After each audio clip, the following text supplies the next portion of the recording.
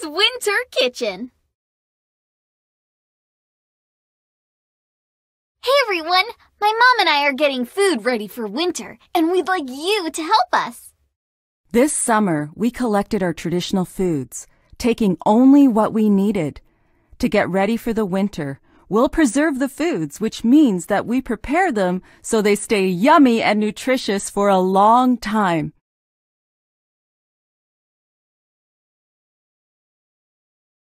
Tap the food you want to preserve with us.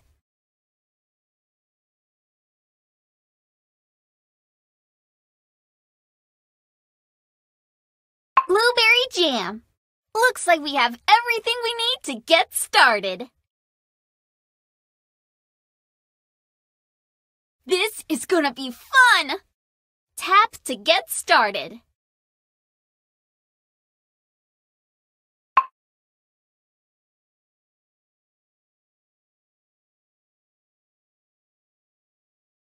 Connie picked these berries from her favorite spot. Let's clean them by taking away all the sticks and leaves.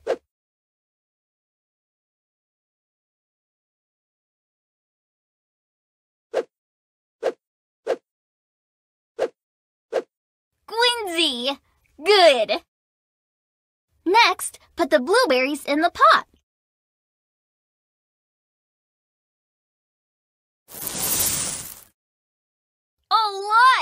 Whoa! Once the berries are in the pot, mash them up to make them mushy.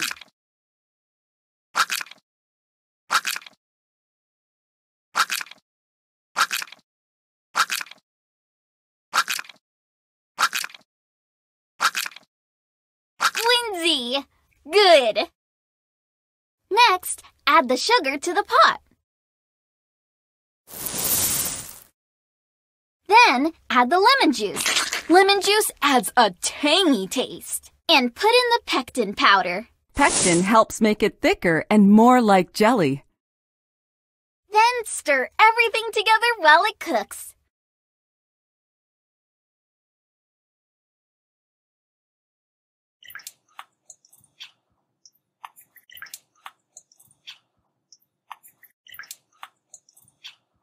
Awesome!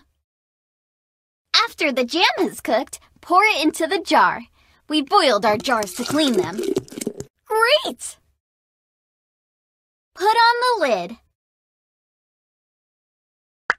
And spin the lid to close it.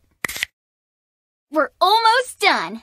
Put the jars in boiling water to tighten the lids and make sure no air comes in. This helps the jam stay fresh.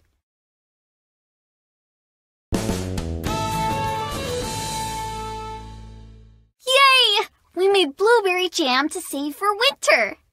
And Connie stopped by to pick up some jam. Merci, Connie, for giving us blueberries to help us make it. Sharing is one of our Gwich'in values. It has helped our people for thousands of years. Tap the food you want to preserve with us. Jarred salmon. We don't have any firewood. Can you find out who might have some? Here, you can look at this book of biographies to find out. It's all about the people who live in Qyah. Which person is more likely to have firewood? William Patuk owns the wood shop in the village. He can carve all kinds of things out of wood. He shares older wood he doesn't need with his neighbors to use as firewood. Trini Mumford is seven and used to live in Texas. She grows lots of vegetables in her garden and has won a gardening prize at the Alaska State Fair. Who do you think has firewood? That's right! Mr. Patuk has the firewood we need. I'll go get some and meet you back here.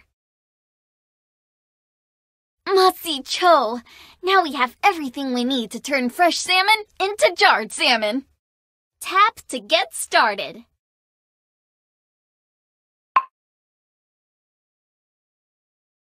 First, cut the salmon in half with our traditional knife, called an ulu.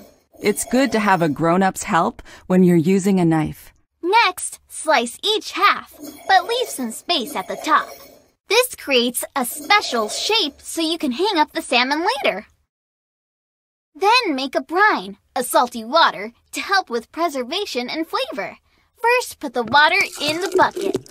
Next, add the brown sugar for flavor. Add the salt, which helps with preservation. A cote A! All done! When the brine is ready, add salmon to the bucket. Add all the salmon to the bucket. Nizzy! Nice! Next, move the salmon strips to the drying rack. Add all the pieces to the rack. Keep going. Almost done. Add the last one. Now, to make smoke, move the wood to the fire pit. Light the fire. I can help with this part. Wait a day or two while it smokes.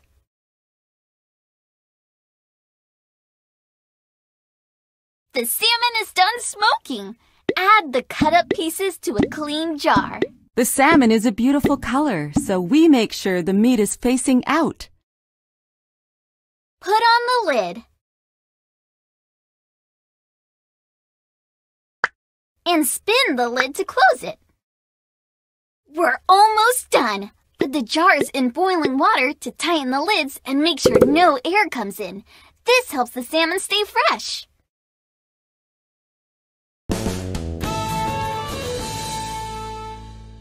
Yay! We made jarred salmon to save for winter. And Mr. Patuk stopped by to pick up some salmon. Merci, Mr. Patuk, for giving us firewood to help us make it.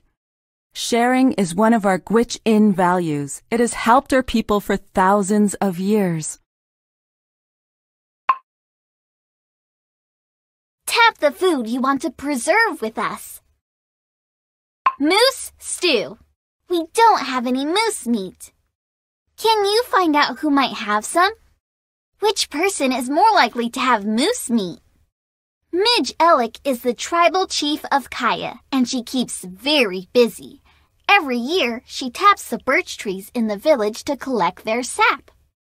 Daniel Mumford is the village librarian. He learned to hunt and fish when he moved to Qyah and enjoys eating moose and salmon. Who do you think has moose meat? That's right! Daniel has the moose meat we need. I'll go get some and meet you back here. Mahsi' choo! Now we have everything we need to turn moose meat, dinjik, into moose stew. Tap to get started. First, cut the moose meat into bite-sized pieces with our traditional knife called an ulu. It's good to have a grown-up's help when you're using a knife.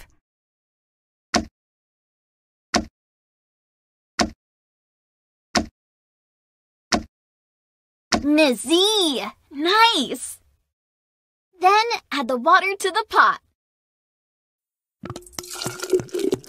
Then add the spices. We like to use garlic, salt, and pepper. Last, add the meat to the pot. Oh, cool! Stir everything together.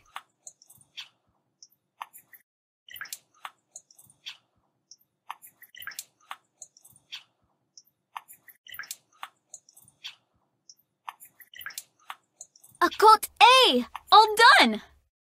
While that's cooking, chop the onions.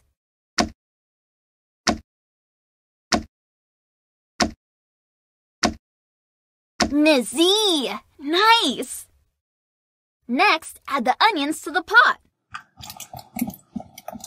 Lie! Whoa! We have potatoes and carrots, so that's what we'll use today. Chop the carrots.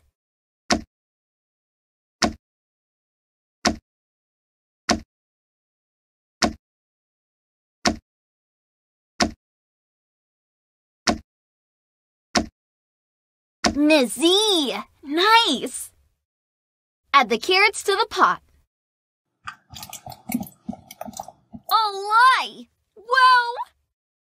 Chop the potatoes into small pieces.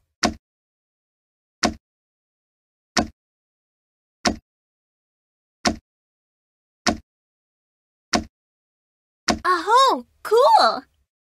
Add the potatoes to the pot. Great! Then add your favorite pasta to the pot. We like macaroni. Oh, lie! Whoa! Now stir it all together again.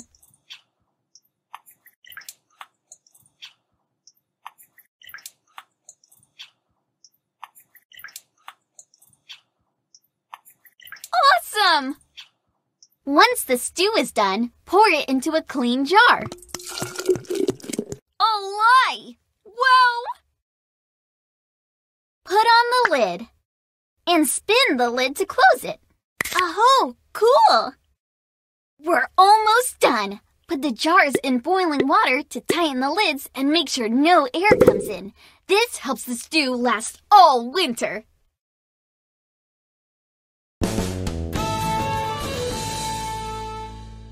Yay!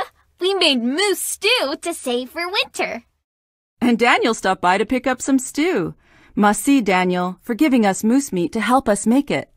Sharing is one of our Gwich'in values. It has helped our people for thousands of years.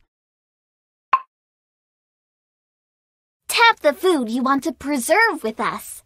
Pickles. We don't have any cucumbers. Can you find out who might have some? Which person is more likely to have cucumbers? Daniel Mumford is the village librarian. He learned to hunt and fish when he moved to Qyah and enjoys eating moose and salmon. Trini Mumford is seven and used to live in Texas. She grows lots of vegetables in her garden and has won a gardening prize at the Alaska State Fair. Who do you think has cucumbers? That's right. Trini has the cucumbers we need. I'll go get some and meet you back here. Mahsi' choo! Now we have everything we need to turn cucumbers into pickles. Tap to get started. Fresh cucumbers from the garden sometimes have dirt on them. First, use a brush to clean them off. Slice the cucumber into thin circles with our traditional knife called an ulu. It's good to have a grown-up's help when you're using a knife.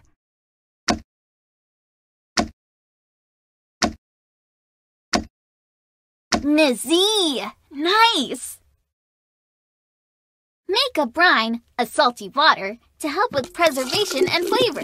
First, add the water. Then, add the vinegar. Next, add the salt. Last, add the sugar to the pot. Yeah! Stir the brine while it cooks.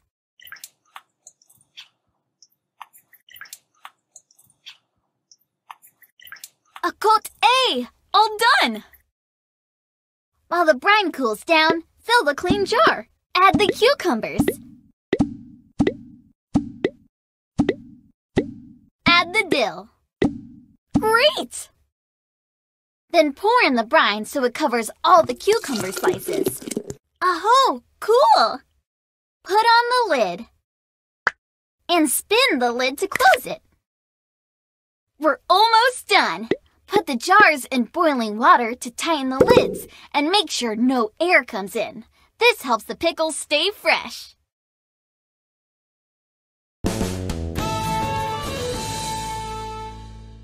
Yay! We made pickles to save for winter. And Trini stopped by to get some pickles. Merci, Trini, for giving us cucumbers to help us make it. Sharing is one of our Gwich'in values. It has helped our people for thousands of years.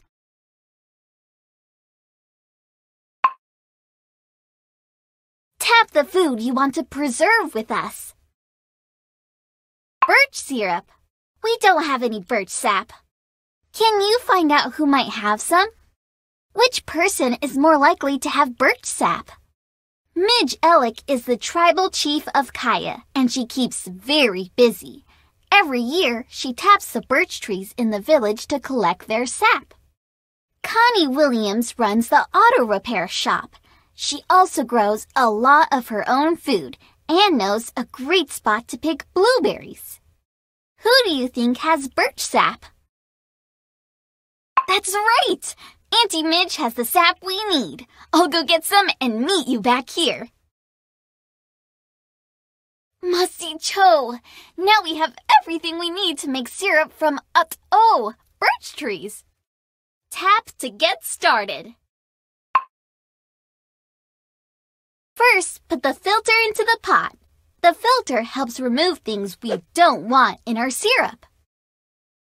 Next, pour the raw sap into the filter. The sap is the sugary water that comes out of the birch tree. You need a lot of sap to make even a small amount of syrup. We need to make a fire to heat up the sap. Move the firewood under the pot. Light the fire. I can help with this part. While it boils, skim the sap to get rid of any sugary scum that forms.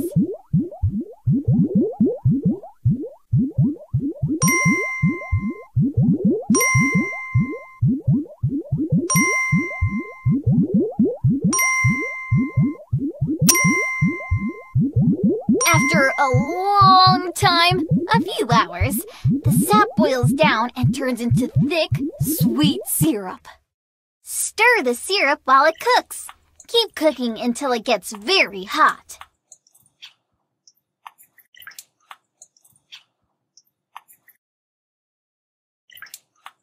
The syrup is done. Add it to the clean jar. Put on the lid and spin the lid to close it. The syrup is so hot that the lids seal themselves closed. That helps the syrup stay fresh.